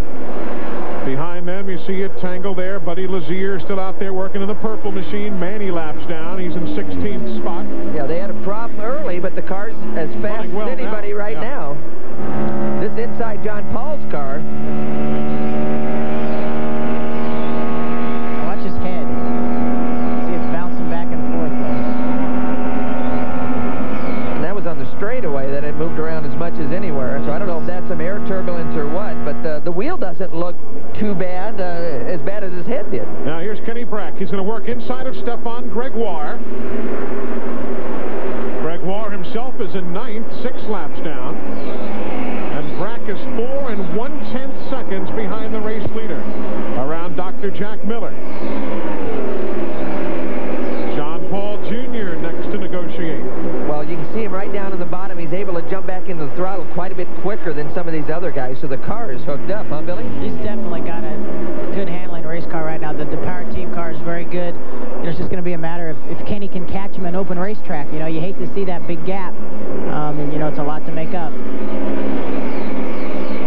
He's four and a tenth behind still. But what he really needs right now is some traffic. If Jeff Ward's got a lot of clear racetrack in front of him, if Kenny can get some traffic, he can keep, make it up a lot quicker. But uh, he's not going to have that advantage right now. Well, again, late in the race with attrition and things like that, the traffic uh, sometimes thins out a little bit, so it's not maybe sometimes as big a factor late in the race as it would be earlier. Absolutely. Ward began the year, Bobby Gerould, with a second at Orlando and a fifth at Phoenix, but it's been downhill since then until tonight. It would be huge if they could turn it around here, Eli. And uh, on that last pit stop for Jeff Ward, they made a slight wing adjustment in the front, gave him a little more wing. They only added five gallons of fuel, but they already had some fuel on board. And the important thing to note here, guys, and, and I'd like for Billy Boat to talk about this a little bit, they've turned the dial now to full fuel, and his last lap was at better than 214 miles per hour. He's running about three or four miles per hour faster than he was when he had it at 90%, Billy. Well, they want to run, you know, they got to have full power right now. They know Kenny Brack's uh, trying to catch him, and they need to run, be running as fast as they can here at the end of the race. Fuel's not a consideration. They're not going to run out of fuel, so right now it's just the fastest guy's going to win this race. Yeah, they actually got full power now. Uh, we noticed on the computer, Billy, uh, you know, Ward's going a little faster, but uh, Kenny Breck is two or three miles an hour quicker than what Jeff Ward's running right now, Eli, and so he's uh, pressing the button down. 217 miles an hour plus as they get around Lazier. That is second and third, Goodyear and Brack.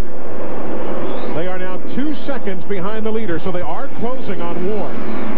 Well, it didn't take Kenny long to get to Goodyear, so let's see uh, if Goodyear is going to present a big problem or a small problem for Kenny Breck. He's catching him pretty quick, and he's running pretty fast.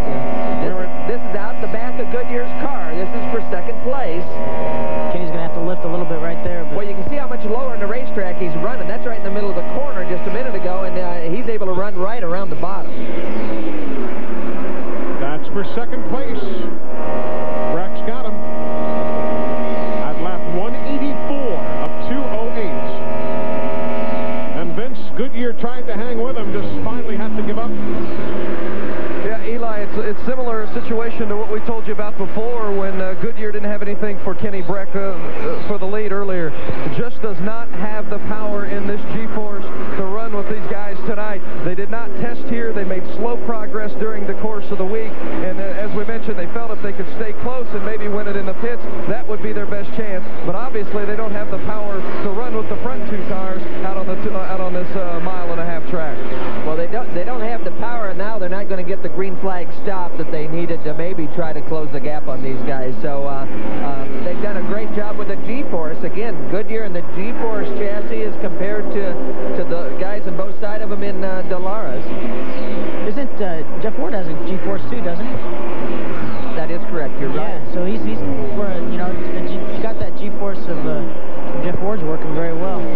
Kenny's coming hard. Huh? He, he looks just like he's got fire in his eyes right now. You know Kenny Brack is fire in his eyes is uh, pretty intense. I've never I've never figured out who's the translator, who's the interpreting Swedish to Texan in that team. I do that. you do that? I do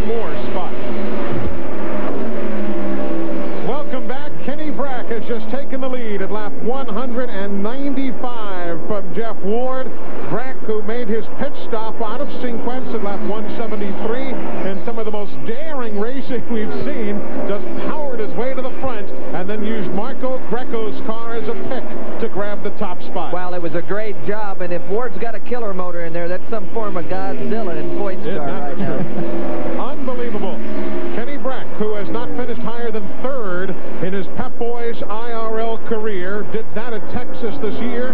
He'll be looking at 10 laps to go when he gets back to the stripe next time by. Take a look at what went on over the last few moments in some battles for the lead. Watch this. That's Kenny. Kenny Brack's back a little ways now, but they get to traffic. As they get to traffic, Ward has got to get out of the throttle a bit. Look at the look at the run Kenny got on the outside, but now he's scraping. He's right up on the edge of the groove. Up in no man's land up there. And that's that's that's white knuckles there. And then this is for the lead with Greco and that red machine. Again, Ward tries the high side. He gets up on the edge of that cushion, and uh, it's just hard to get any kind of grip up there. And Kenny's got a phenomenal race. The big man likes what he sees. A.J. Foyt can smell victory lane about nine laps away. knocked his watch loose there. He was so excited on that pass. Brack was fifth in this race last year. Again, it was interesting. It took Kenny a few laps to get by. He closed the gap, but then he'd get the turbulence. And uh, if Wardy could have kept him back a few more laps, he might have been able to heat up the right front tire on Breck and, uh, and really cause that pass not to happen. But uh, they got to traffic, and, and that gave Kenny an opportunity to get a little bit of a run. And Bobby, once he got by him, now he's pulling him by two and a half seconds. Yeah, it was very interesting, Eli. Just a moment ago, Jeff Ward's guys all were out over the wall, laid out for Wardy to come in. He had reported a vibration in his number 35 machine. They've now come back over the wall, and I don't know if the vibration went away or what happened there, but apparently they've decided to go ahead and soldier on here to the finish because we do only have about eight laps to go. Well, a lot of times, you know, in that traffic, you saw Ward was up very high. You get into the marbles, and, and you can pick that up on the tires, and sometimes that'll cause a vibration, until you run a few more laps and get it scrubbed off. So the groove these guys are running to race three abreast can cause some vibrations. I would bet. You see Buddy Lazier right behind in that purple machine. He's showing right now some 40 some odd laps down in 13th position. But finally, will try and work himself free here. Now the leader is in race traffic. Down low, you can see him three wide down low. Around Tyce Carlson and Dr. Jack Miller right there. Actually used his head pretty well. He got to that traffic quite a bit earlier, but uh, he knew he had enough car underneath him. He could take his time and wait for it to, to spread out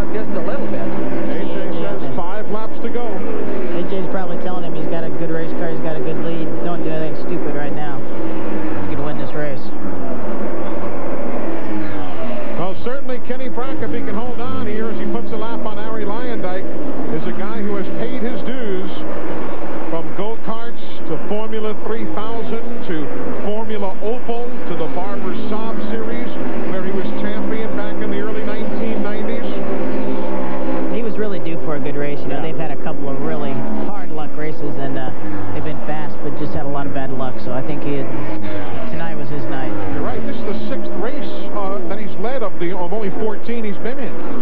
Well, in, in last week, uh, you know, he felt he had as good a car as anybody, and they had that fuel injection problem early, so uh, he's got a smile on his face right now, and he doesn't want to feel any vibrations, does he, Billy? Absolutely not. You know, this is the time of the race that to go. You can you can feel just about anything going on in that race car right now. It'll be two laps to go. Comes back to the stripe, two times remaining, Vince Welch, and it'll be checkers flags. It's all smooth for Kenny Breck. The car running very well. Obviously, he's pulling away from uh, all the other contenders. The main uh, point here for Kenny, be careful going through the traffic. Otherwise, it's home free to the checkered flag. Turn three and four.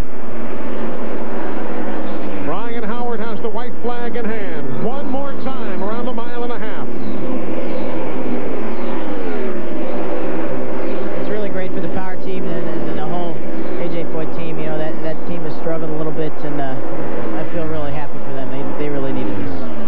32-year-old veteran from Karlstad, Sweden.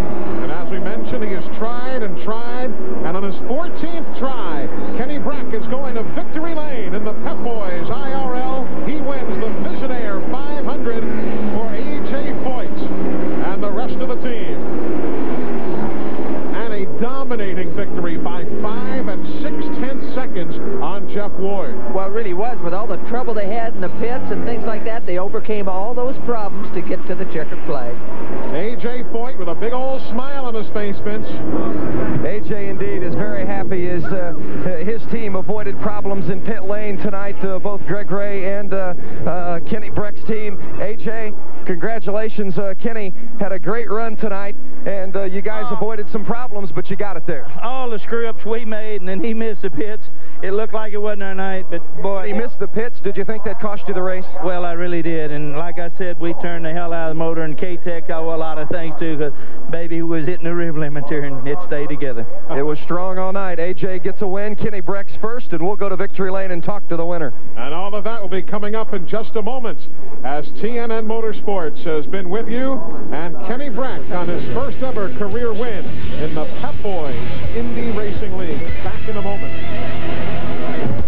Welcome back, everybody. Kenny Brack, a first-time winner on the Pep Boys IRL. He led seven times for 76 laps tonight. Why don't we go down to the Pep Boys victory lane ceremonies and see Vince Welch right in the middle of it all. Kenny Breck winning in the Pep Boys Indy Racing League for the first time. He's been close before, but his first time in victory lane, and he's getting ready to climb out of the Dallara, putting on the uh, Visionaire 500 cap. The winner of the Visionaire 500 from Sweden, Kenny Breck, and he's so tired he's can barely get out of the car. There he goes.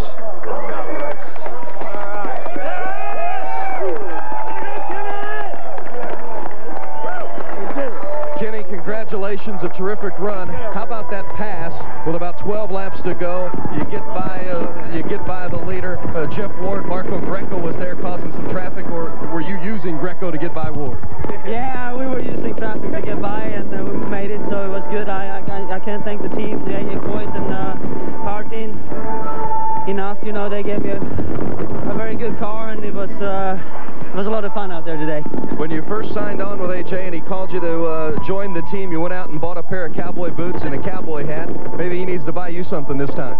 No, actually, I did a, had a pina colada in a bar in Las Vegas, but, uh, but yeah, I, I, it was a great deal, and uh, it's given me a victory. So it's great to have a victory like this, and for a late legendary team owner like AJ, fantastic. A lot of people thought uh, a Swedish driver may not fit with the Texan, AJ Foyt, but it seems the two of you have been quite a match, AJ.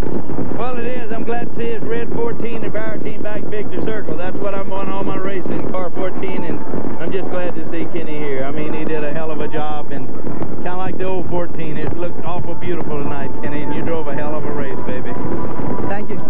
Thanks very much. Kenny Breck, the winner of the Visionaire 500 for the A.J. Foyt Power Team. Vince bringing it home second tonight is Jeff Ward, and that equals his best finish uh, on the season earlier at Orlando, a second place finish. He picked up the vibration late in the race, Jeff. If, if he didn't have that, you think he would have been able to hold Breck at bay? Well, I don't know. I, I was struggling through three and four a lot of the night, but uh, earlier in the, the race, uh, he couldn't. He could close up on me, but couldn't get by, and I felt even though he was coming up, I could I could hold him off, but we picked up a real bad vibration, and you know I didn't know what it was. If it was a tire, I could see a line on the front tire, so I thought maybe it was blistering because we didn't change tires when it splash and go. So and the car kind of had a push all night, but um, you know I think he had us covered there at the end, but you know I wasn't gonna do any blocking, but it was a lot of fun. We came close to you know real close to winning, but maybe next time. When it came down to it, the move that Breck put on you for the lead, that was in heavy traffic. Was that kind of a hold your breath situation? Oh yeah, actually I didn't know he was that close when I came up on I don't know who it was in the turn three, and he went way high, and then uh, I knew he was there, but um, there, you know Greco got in the way a little bit off of two, and he got a run. There was nothing I could do to hold him off. So once he got by, it was just you know to salvage second. But uh, this whole ISM team did a great job in the pits. I mean they gave me the opportunity to win the race. Did everything worked perfect, and uh, we'll get one before the year's out. Well, it's going to certainly help you in the, the battle for the championship. You move up a couple notches. Yeah, we've had a string of bad luck here, but um, you know we're looking for some more sponsors to come on, and uh, things are going real well. It's just a matter of time before we win. It just that hurt us in the points, but this is definitely going to help us because a lot of the top guys fell out, so it's giving us the right hope for the championship again. Jeff Ward, happy about a good run today. Wardy's had a tough run of late with engine failure at Texas and Loudon and leaving early with the accident at Dover. But today he came home second to Kenny Brack, a first-time winner in the IRL. Speed here in the Visionaire 500, 158.408 miles an hour. Well, Eli, I don't know if you noticed, but Kenny Breck in Victory Circle, I mean, he was whooped. I mean, he Yes. was still trying to catch his breath. So uh, he, he worked real hard to get the job done. Uh, the, his comment about pina coladas, I'm not even sure those are legal or served in Texas, are they? For medicinal purposes only. Definitely so. Scott Goodyear came home in third spot today. Let's hear from him. That's right. Before the race, Eli, you'll remember Scott was uh, talking about turn three and how he thought it might be a little bit evil here for him today. But uh, track was pretty nice to you tonight, Scott. Well, we'll take home third place points, but we got killed in turns three and four as far as speed was concerned. Could not go flat through there. Made the car better in the pit stops uh, through the event. I'm pleased with the guys in the team. Did great pit stops for me on the Pennzoil and Panther pack, and we moved up in the points, and that's what's important. Uh, Raleigh Durham's just up the road, and it's the hometown for Northern Telecom, one of our sponsors, and we got everybody here from Hard Rock Cafe tonight, so had to make sure we finished.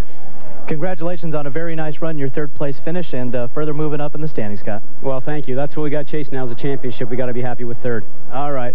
Scotty will be back at Pikes Peak, the next one for the IRL Pep Boys drivers, Eli. And that was a third place run for him ahead of Arie Luyendyk in fourth. And Marco Greco backing up his third place run of a weekend ago with a fine fifth place finish here tonight at the Charlotte Motor Speedway. And there you see again the unofficial numbers. Stevie Reeves down there in 10th position. Good run for him. Solid run for the doctor, Jack Miller. Yeah, and, and Davey Hamilton had trouble early. He's in that point battle as well, but uh, he was able to bring it home anyway. Further back from 11th on, Tyce Carlson will take home 11th place honors. And Andy Michner in the uh, Eliseo Salazar machine, the uh, Riley and Scott chassis. Only one in the field today with a, a solid finish.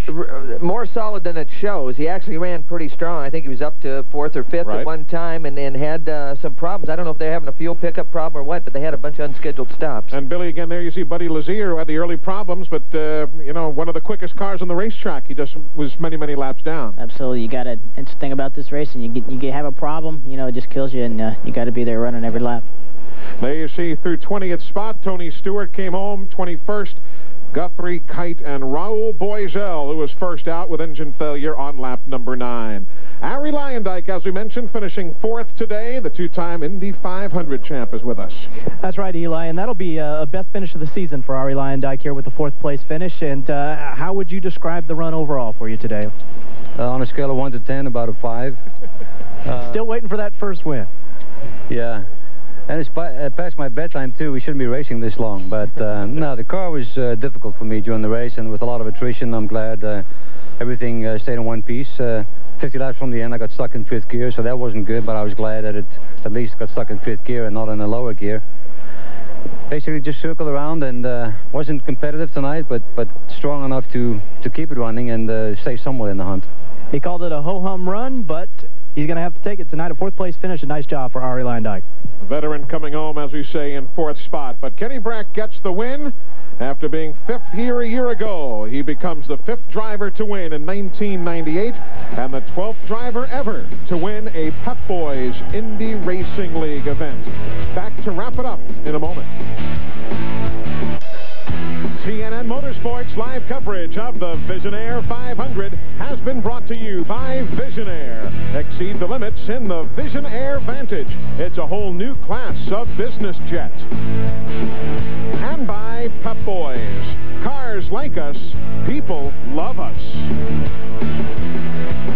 Well, quite a race here this evening. Had a little bit of everything, and very nice to see Billy Boat. Really only one incident on the racetrack, uh, relatively minor, though I'm sure not to uh, Beechler and Sharp, but nevertheless, a good, clean, competitive race here tonight. Absolutely, a fantastic race for the IRL, and uh, you know the, these guys are really putting on a great show. It really made me, uh, really maybe me sorry I couldn't be out there racing with them. They looked like they had a lot of fun tonight. But Sunday, August the 16th, I know is circled on your calendar. Your return to the Conseco car. Absolutely, we'll be back for Pikes Peak, and uh, we'll be ready to go. Tom Sneva, final thoughts tonight. Well, I'll tell you what, there's some great racing going on out there. It's, it's too bad we can't show it all on one TV screen, but, uh, you know, they're going to have to block more than eight or ten rows of this grandstand off if they keep running this close, because it's pretty wild and woolly to watch. Right, a lot of you might have noticed the bottom eight rows here at Charlotte were not sold to the general public. A crowd estimated in the vicinity of 50,000 fans here tonight, and they certainly saw their money's worth. Good side-by-side -side racing, and if you like the high speeds, well, as we said when we signed on back at 9 o'clock Eastern Time, you've certainly come to the right place. Don't forget that Kenny Brack is the name that you want to remember as you stop by your nearest Pep Boys location. The MCI Pep Boys Million Dollar Contest is now underway. If Kenny Brack can win, in addition to tonight's race, the victory in Atlanta coming up on Saturday, August 29th, and the Las Vegas race on Saturday, October the 10th, you and Kenny will split a million dollars, so swing by Pep Boys and register. Big thank you to Tom Sneva, to Billy Boat, to Vince Welch and Bobby Gerould. I'm Eli Gold. Don't forget that TNN Motorsports brings you coverage of the Pep Boys Indy Racing League from Atlanta, Saturday, August 29th at 9 p.m. Eastern Time. Now stay tuned. The Statler Brothers coming up next, joined in progress. For all of us at TNN Motorsports, Gold. Good night, everybody.